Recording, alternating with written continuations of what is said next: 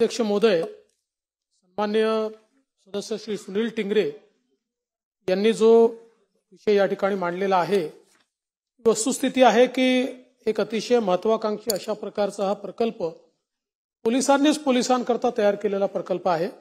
शासनाचा सहभाग याच्यातला फक्त त्यांना मदत करण्या इतपतच होता. आणि साधारण दोन हजार आठ साली या प्रकल्पाची सुरुवात करण्यात आली त्यानंतर ती जमीन घेण्यात आली मात्र याच्यामध्ये मध्यंतरीच्या काळामध्ये बराच काळ निघून गेला आणि ऍक्च्युअल जी मान्यता पर्यावरण खात्याकडनं मिळाली ती दोन हजार अठरा साली मिळाली म्हणजे जवळजवळ दहा वर्षांनी मिळाली. आणि त्याच्यानंतर मग मध्ये कोरोनाचा काळ देखील होता.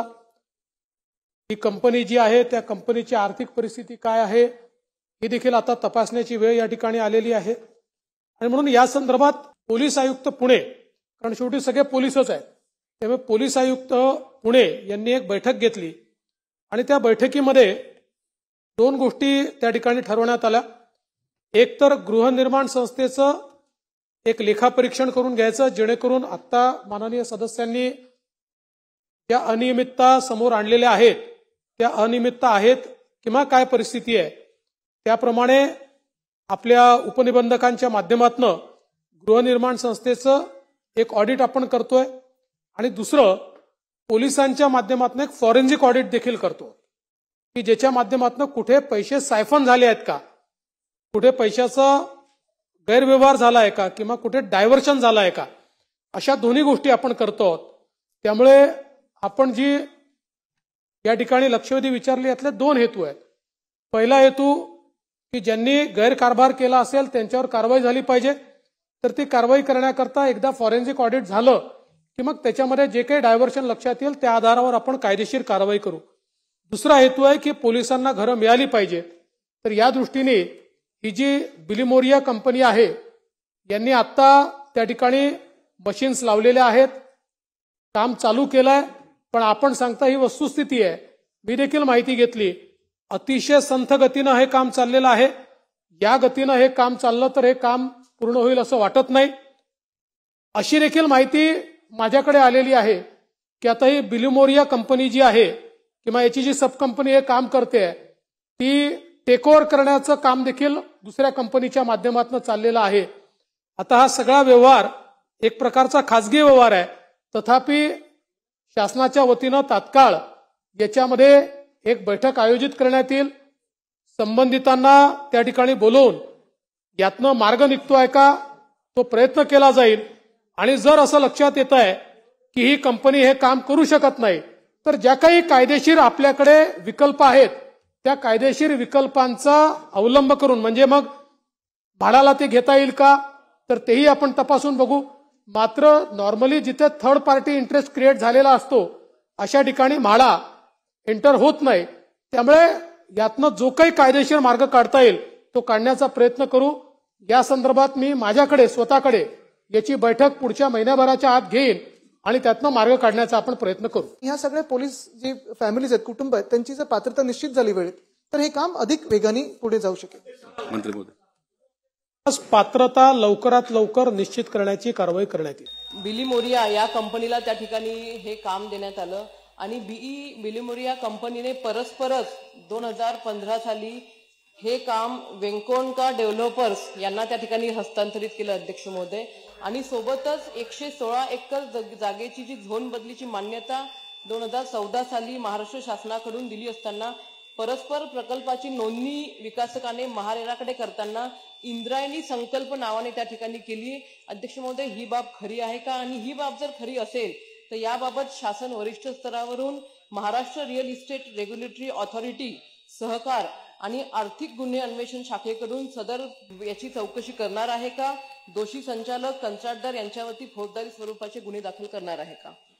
सन्मान्य सदस्य श्वेताताई महालेंनी जो विषय उपस्थित केला आहे मगाशी देखील सांगितलं की आपण ही सहकारी गृहनिर्माण संस्था असल्यामुळे उपनिबंधकांकडनं एक चौकशी करतोय आणि पैशाचं काही सायफनिंग झालं आहे का किंवा कुठली अशा प्रकारची अनियमितता झाली आहे का? या संदर्भात आपण फॉरेन्सिक ऑडिट देखील त्याचं करतोय. या दोन्हीचे अहवाल आल्यानंतर त्यात जो काही दोष असेल त्याच्या आधारावर फौजदारी कारवाई केली जाईल. त्यामुळे एकीकडे ही फौजदारी कारवाई करणं तर गरजेचं आहे पण त्याचवेळी पाच हजार पोलिसांचे पैसे अडकले. त्यामुळे त्यांनाही घर मिळालं पाहिजे म्हणून याच्यामध्ये बैठक घेऊन त्यांना घर कसं देता येईल आणि हा प्रोजेक्ट सुरू कसा करता येईल? कारण आता या स्टेजला प्रोजेक्ट आला पहिल्यांदा की त्याच्या सगळ्या परमिशन आहे त्यामुळे आता तो सुरू केला जाऊ शकतो. तर तो प्रोजेक्ट सुरू कसा करता येईल? या दोन्हीकडे सरकार लक्ष देईल आणि दुसरं पंधरा लाखाचं तुम्ही जे घराचं हे केलंय जाहीर केलंय पाचशे कार्पेटला त्याचा जी आर जास्तीत जास्त लवकर काढावं ही माझी विनंती आहे. अध्यक्ष महोदय जो दुसरा प्रश्न आपण मांडलेला आहे तसा आपण त्याचा निर्णय केलेला आहे पण आपल्याला जो स्पेसिफिक जी आर पाहिजे आहे तो तात्काळ काढण्यात येईल. त्या संदर्भात कुठलाही प्रॉब्लेम नाही. पहिला जो प्रश्न आपण मांडलेला आहे त्याच्यात आपल्या पोलिसांना आपण घर दिलंच पाहिजे त्यात काही प्रश्न नाहीये. बीडीडीचा शेवटी आपण एक वेगळा निर्णय का घेतला? तीस वर्ष त्या ठिकाणी संघर्ष चालला होता.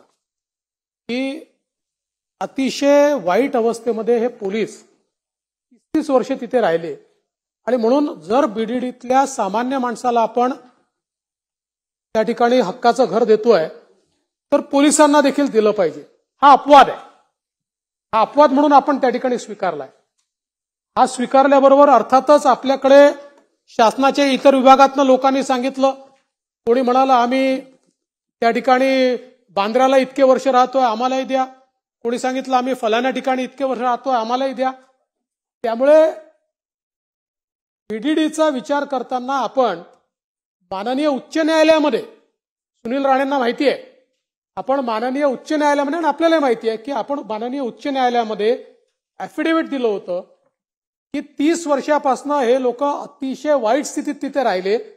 आणि जर बीडीडीतल्या इतर लोकांना आम्ही त्या ठिकाणी घर देतो आहोत तर यांना देखील आम्ही घर देऊ. आणि म्हणून आपण ते ऑनर केलं पण आता त्याच्यामध्ये आपण जशी मागणी दोनशे लोकांची केली आहे अशी अनेक लोकांची मागणी तिथे आली आहे.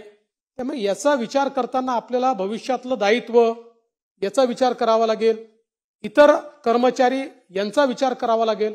आणि म्हणून या संदर्भात आजच आपल्याला आश्वासन देणं मला शक्य नाहीये. पण आपण हा विषय मांडलाय मी जरूर आपल्याशी या संदर्भात चर्चा करेन. हे पोलिसवाले तिथे गेल्यानंतर त्यांना प्राधान्य द्यावं ही माझी मनापासूनची इच्छा आहे. हे तपासून पाहिलं जाईल. माझ्या विभागातील साकेनागा पोलीस स्टेशन वसाहत आहे. सतरा अठरा पासून ते धोकादायक परिस्थितीत होते. या इमारती महाराष्ट्र शासनाच्या जागेवर आहेत. पहाडाने बांधलेल्या आहेत. त्यामुळे त्या इमारती पाहणी करून महाराष्ट्र शासन तातडीने बांधण्याची उपाययोजना करणार आहे का? सन्मान्य दांडे साहेबांनी जो या ठिकाणी विषय मांडलेला आहे आत्ता माझ्याकडे तसं ब्रिफिंग नाही आहे. कारण या लक्षवेधीच्या स्कोपमध्ये नव्हता पण त्यांनी अतिशय गंभीर बाब निदर्शनास आणून दिली आहे. त्यामुळे साकी नाक्याच्या संदर्भात देखील तात्काळ निर्देश देण्यात येतील आणि तिथे जे काही रिपेअर्सची आवश्यकता आहे रिपेअर्स करण्याकरता किंवा तिथे काही ॲडिशनल बांधकाम करायचं असेल तर त्या संदर्भातलं निर्देश तात्काळ दिले जातील. माननीय अमित पटेल साहेबांनी दोन गोष्टी उपस्थित केल्या. पहिले तर ज्या क्वार्टरच्या रिपेअर्सच्या संदर्भात आपण प्रश्न उपस्थित केला आहे तात्काळ त्याचे आदेश देण्यात येतील आणि तिथे रिपेअर्सचं जे काम आहे ते सुरू करण्यात येईल. पी आय टी चाळीतल्या जे काही पोलीस पत्नींचा विषय आपण मांडलेला आहे खरं म्हणजे आता आपण ज्यावेळेस बीडीडीचा निर्णय घेतला त्याच्यानंतर सातत्याने अशी मागणी येते. तीच मागणी आता कालिदास कोळंबकरजींनी देखील दोनशे पोलिसांकरता केलेली आहे. आपणही तीच मागणी केली आहे. यातला शासनासमोरचा प्रश्न एवढाच आहे की सगळीकडेच पोलिसांकडनं ही मागणी येते मग पोलिसांची केली की तीच मागणी इतर कर्मचाऱ्यांकडनं येते. शेवटी कर्मचारी रिटायर होत जाणार आहे नवीन कर्मचारी येणार आहे मग त्यालाही राहायला घर द्यावं लागणार आहे. त्यामुळे याला आपल्याला म्हणजे आपल्याला मनातनं वाटतं की आपल्या पोलिसांना घरं की आपण मालकी हक्काची दिली पाहिजेत. पण ती देताना काही आपल्यासमोर लिमिटेशन्स देखील आहेत. तथापि आपण जो विषय मांडलेला आहे जसं मी यांना सांगितलं आपण जरूर तपासून पाहू त्याच्यातनं काही मार्ग काढता येईल का आपण त्याचा विचार करू. जे पोलीस हाऊसिंग आहे त्याचं रिपेअर्सचा खूप प्रॉब्लेम आहे. चोवीस तास पोलिसांना कॉलवर राहायला लागतं त्यांना खूप हाल होतात. तर नेकनूर अंबाजोगाई आणि युसुफ पडगाव इकडे एकदम खराब परिस्थिती झाली बघा पुण्याची लक्षवेधी. आता पूर्ण महाराष्ट्रामध्ये याच्यामध्ये एक तासभर अजून. चर्चा होऊ शकते. बघा ते ऑलरेडी लिस्ट स्कोपच्या बाहेर कृपा करून विचारू नका. भेटलेला नाहीये त्यांना. तर ते आणि बाकीचे एकनूरचं राहिलेलं जर लवकरात लवकर राहता येईल तर बीड जिल्ह्याच्या पोलिसांना सक्षम करण्यासाठी खूप महत्त्वाचा प्रश्न आहे. याची प्राधान्य यादी आपण तयार केलेली आहे. हा. प्राधान्य यादीत हे असेल तर काम लवकर सुरू होईल नसेल तर प्राधान्य यादीमध्ये घेण्याच्या सूचना देतो. की आपण माझा आलेला मंजूर झालेला प्रस्तावावर एक तर निधी मंजूर करणार का किंवा बीओटीवर देणार का हा माझा स्पेसिफिक प्रश्न आहे. मंत्री महोदय. जसा पोलीस मधला राजीनामा मंजूर करून जनतेने तुम्हाला आमदार बनवलं तसंच तुमचा प्रस्तावही प्राधान्याने मंजूर करण्यात येईल. आणि त्याला निधी देण्याकरता प्राधान्य यादीमध्ये समाविष्ट करायला सांगण्यात येईल. सन्मान्य योगेश सागर साहेबांनी जी सूचना केली आहे मागच्या काळामध्ये आपण डीसीआरमध्ये बदल केला आहे. आणि पोलिसांना जर त्या ठिकाणी घरं दिली तर आपण वाढीव एफ एस आय त्या ठिकाणी देतो अशा प्रकारचा निर्णय आपण ऑलरेडी केलेला आहे. तो बदल आपल्या डीसीआरमध्ये झालाय दुसरं आपण मुंबईच्या डीसीआरमध्ये काही जागा या राखीव ठेवलेल्या आहेत की ज्याच्यामध्ये पोलिसांना जर घरं बांधून दिली तर आपण अकोमोडेशन रिझर्वेशन सारख्या योजनांचा फायदा हा त्या ठिकाणी देतो. आपल्याला कल्पना आहे गोरेगाव सारख्या भागामध्ये आता आपल्याला चार हजार क्वार्टर हे त्या माध्यमातून मुंबईमध्ये मिळत आहेत. त्यामुळे या संदर्भात आता कायदेशीर अशा प्रकारची तरतूद आपल्याकडे आहे. याच्यात जेवढ्या मोठ्या प्रमाणात विकासक यायला पाहिजे ते काही समोर येताना अद्याप तरी दिसत नाही आहेत पण जो पहिला प्रश्न आपण मांडला आता आपण प्रयत्न असा करतोय की कुठलंही पोलीस स्टेशन ज्यावेळेस आपण बांधतो किंवा रिडेव्हलप करतो त्यावेळी अशा प्रत्येक ठिकाणी जेवढा एफ एस आय उपलब्ध असेल किंवा जेवढा पूल करता येईल तेवढा एफ एस आय तिथे घेऊन तिथेच क्वार्टर्स देखील तयार करायचे अशा प्रकारचा निर्णय देखील आपण घेतलेला आहे. त्यामुळे एकतर पोलिसांचा जो काही दळणवळणातला वेळ आहे तो देखील कमी होईल आणि पोलीस ठाण्याच्या भागातच जर क्वार्टर्स असले तर त्यातनं त्यांचा जो रिस्पॉन्स टाइम आहे तो देखील त्या माध्यमातून आपल्याला वाढवता येईल. त्यामुळे आपण जी सूचना दिली आहे निश्चितपणे त्याचा विचार राज्य सरकार करेल.